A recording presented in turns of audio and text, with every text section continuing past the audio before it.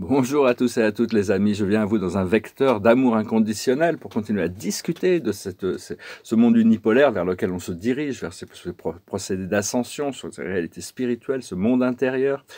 Et euh, pour, je vais parler aujourd'hui de différentes idées. La première, c'est qu'on est vraiment dans une période de test. Hein. C'est vraiment, les tests sont très ardus pour toute l'humanité est testée.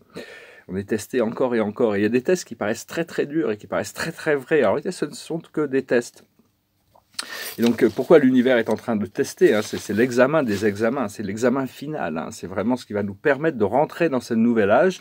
Mais on ne peut qualifier qu'une partie de l'humanité qui est prêt à rentrer dans ce, dans ce, ce nouvel âge de paix, de fraternité, de, de concorde, d'harmonie. Euh, donc, pour ça, il faut, pour rentrer dans ce nouvel âge d'or, il faut, se débarrasser de l'avidité, il faut se débarrasser des manipulations. Donc, pour pas se juger soi-même, si on, on cette période nous est donnée justement pour prendre conscience de ces choses et les corriger, hein, purifier nos pensées. Euh, on ne peut pas rentrer dans cet âge d'or aussi si, si, si on, a, des idées de racisme ou des idées de, jalousie ou de méchanceté. On ne peut pas tolérer des gens qui peuvent vivre dans un, un univers de paix qui essaie de, de, dominer les autres. Hein.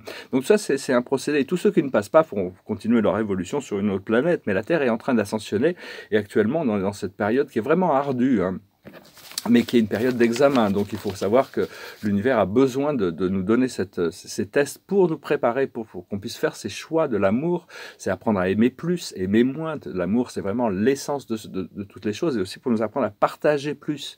Ce que l'on a, c'est ce que Dieu partage avec nous, mais Dieu, par, Dieu c'est quand on reconnecte à cette nature divine, on peut partager. Euh, partager plus avec Dieu, hein, savoir que tout est simulation. La troisième dimension est une, simulation holographique, mais la quatrième et la cinquième dimension aussi, tout est simulation. On veut passer d'une simulation cauchemardesque de dualité, d'opposition, à une simulation, une simulation paradisiaque d'amour éternel dans la cinquième, sixième, septième dimension, continuer à s'élever et donc c'est vraiment le choix de, de... parce qu'en réalité, c'est pourquoi on dit que c'est une illusion, une simulation, tout ça, parce que on, veut passer tout, tout n'est que, que, relatif ici. Tout ce qui est relatif ne peut pas être, n'est pas, n'est pas éternel, n'est pas permanent. En réalité, il n'y a que l'amour et la lumière de Dieu qui sont, qui sont réels, hein, un seul infini. Je suis la, la réalité infinie de, de, cette lumière qui vient ici s'incarner ici, et vous l'êtes aussi. C'est bon, c'est un peu un secret ça encore, on peut pas encore trop le dire, mais nous sommes cette, cette l'essence de cet infini qui vient s'incarner pour montrer à l'humanité son potentiel, lui faire découvrir la vérité de son cœur. Et il n'y a qu'une seule vérité, une seule vérité, c'est la vérité infinie de Dieu. Tout le reste ne sont que des expériences qui nous y amènent. Mais on, a quand même été, comme Platon l'expliquait, il y a tout ce, domaine de l'âme où, où, tout est déjà parfait, tout est complet. Seulement, il y a besoin d'expansion, donc on choisit de descendre dans cet univers imparfait pour euh, pour apprendre, grandir et évoluer. Si je ne fais que partager des points de vue, des idées, je sais que ça va forcément résonner avec tout le monde. Beaucoup de, beaucoup de gens sont très attachés, même des gens qui, ont d'une foi très forte, qui sont attachés à leur dogme en pensant qu'il n'y a que ceux qui, croient comme eux qui vont, qui vont passer le cap et tous les autres vont partir en enfer. En réalité, c'est pas du tout ça. Il n'y a que l'amour de Dieu qui essaie de qualifier, qui ramène tout le, troupeau à la maison. de tôt ou tard, on sera tous de retour à la source, de toute manière. Il n'y a qu'on est tous partis de là et on doit tous y retourner. Seulement, il y a des chemins qui sont plus longs que d'autres. Si vous voulez une session privée, n'hésitez pas. Je peux encore les faire, mais je sens que tout bientôt, les choses vont changer. Euh, n'hésitez pas à m'envoyer un email et je vous remercie pour vos likes, vos commentaires, vos partages, vos souscriptions. Il y a toutes sortes de nouvelles choses, nouvelles responsabilités qui arrivent, là, qui se présentent. Et donc, je vais tirer quelques cartes pour voir les oracles de la journée. Le, passé, c'est le départ. On, a été prévenu qu'il y a un départ, un nouveau, un nouveau départ. Là où on en est actuellement dans la situation, c'est l'amitié. On doit cultiver cette amitié, avoir cette amiabilité, être euh, et le futur, c'est l'intuition. L'intuition, c'est à travers l'intuition que le monde spirituel nous parle. C'est arriver à être beaucoup plus actif sur notre, notre cerveau gauche pour que les deux cerveaux puissent fonctionner euh, optimalement. Ce que l'on travaille actuellement, c'est l'équilibre. On doit ramener les choses en équilibre. On doit, vraiment trouver cet équilibre, cette balance, pour apprendre à revenir au centre pour s'équilibrer.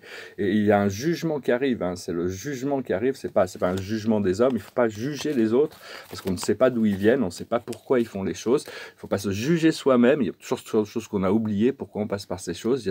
C'est juste on arrive à la fin des temps et donc il faut se préparer pour cette, pour cette, cette fin des temps. Il va y avoir une, une sorte de. C'est ce qu'on appelle, pas le jugement dernier, mais enfin, c'est un petit peu ça. C'est l'examen qui, à la fin, il y, a le, il y a les résultats qui vont arriver de toute manière. Donc bon, faut, faut essayer de qualifier le plus de gens possible, à se les aider à se tourner vers cette lumière intérieure, d'accepter l'amour.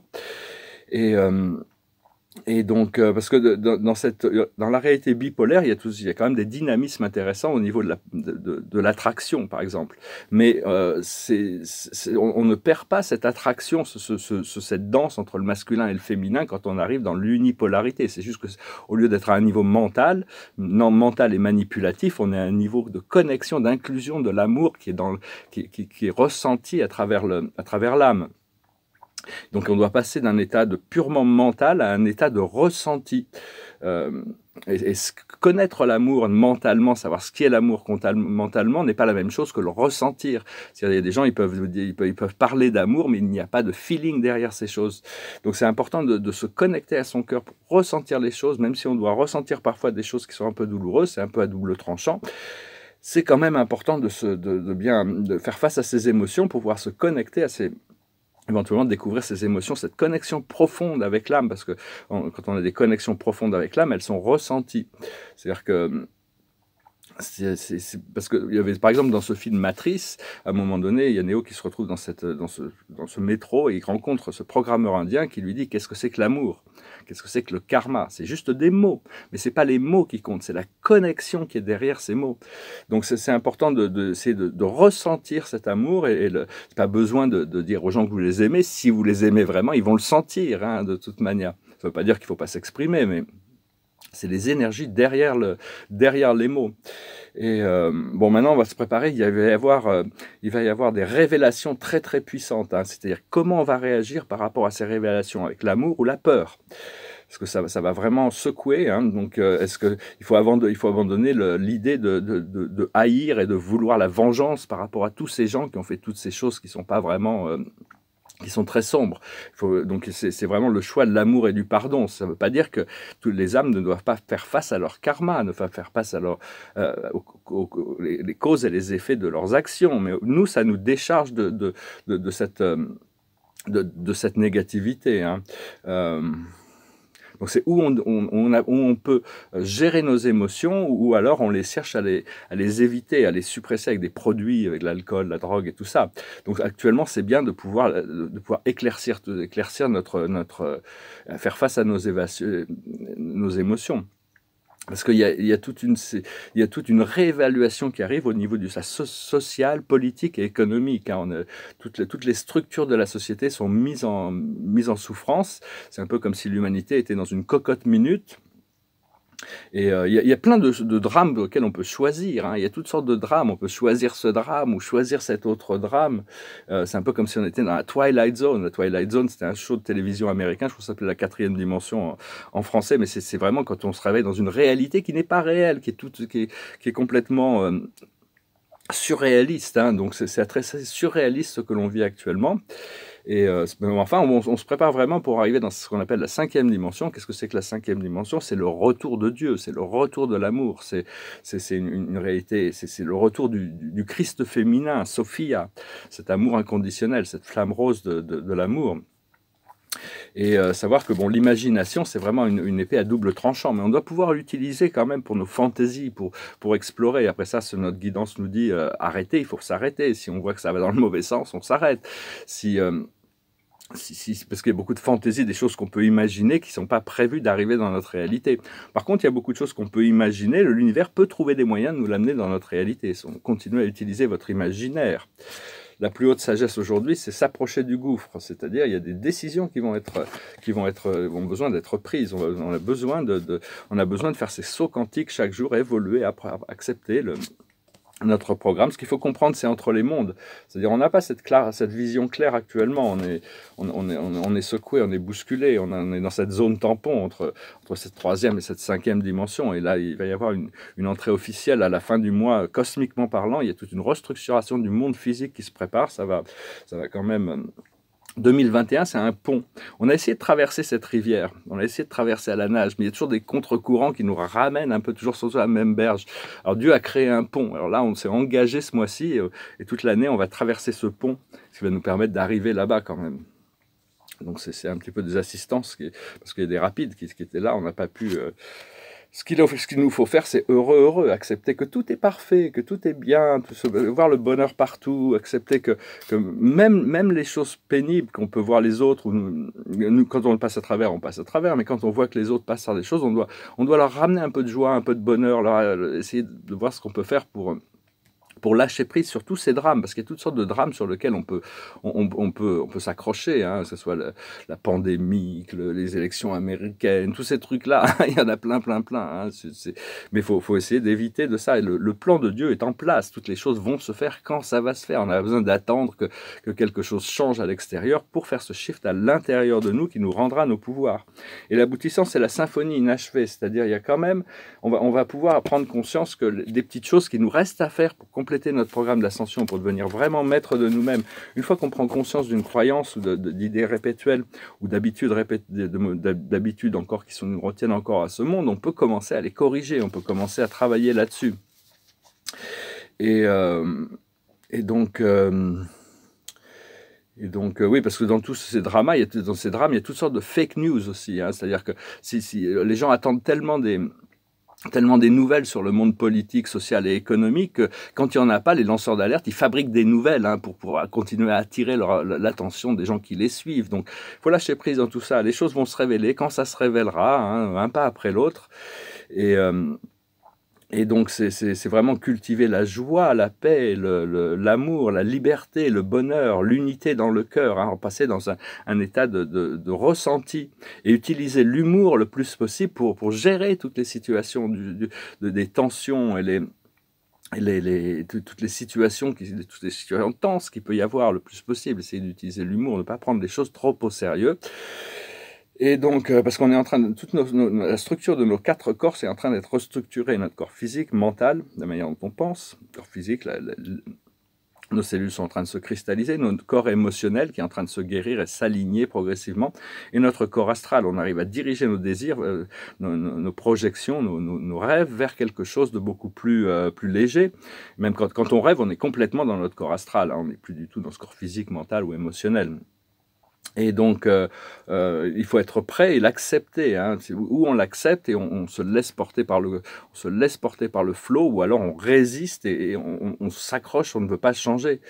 Donc, euh, il faut aussi apprendre à lâcher prise sur tout ce que l'on pense connaître, tout ce que l'on pense croire, toutes nos croyances, notre connaissance, nos objectifs, hein, pour arriver à, à, permettre à l'esprit de nous montrer un nouveau niveau de réalité où toutes ces choses sont réintégrées, mais de manière beaucoup plus raffinée, beaucoup plus affinée comprendre que le, second, le second arrivée du Christ, il est là. Hein, c'est l'éveil de, l'amour divin à l'intérieur de notre cœur. C'est ça. Le, ça ne veut pas dire qu'après, il n'y a pas des manifestations dans le, qui vont se passer pour pouvoir permettre le, l'évolution. Hein. Mais enfin bon, euh, tout ça, c'est des choses qui sont, euh, qui, sont, qui, sont en train de se faire de toute manière. Voilà, aujourd'hui, euh, aujourd'hui j'ai un beau cadeau. Il neige ici donc ça commence à devenir tout blanc. Donc j'ai envie de voir la neige. C'est pas comme si c'est pas deux semaines de ski à Megève, mais bon, c'est déjà pas mal de voir le, de, de ou à Aspen, mais c'est pas mal de voir, le, de voir la neige. Hein. donc voilà un petit cadeau de la journée. Je chantais cette chanson, c'est une, une, vieille chanson de, me rappelle un petit peu quand j'étais à Los Angeles, c'est une chanson des Cure, it goes like this. Show me how you do that trick, the one that makes me scream, she said, the one that makes me laugh, she said, and threw her arms around my neck. Show me how you do it. And I promise you, I promise that I'll run away with you, I'll run away with you. Spinning on that dizzy edge, and I kissed her face, and I kissed her head. Dream of all the different ways I had to make her glow.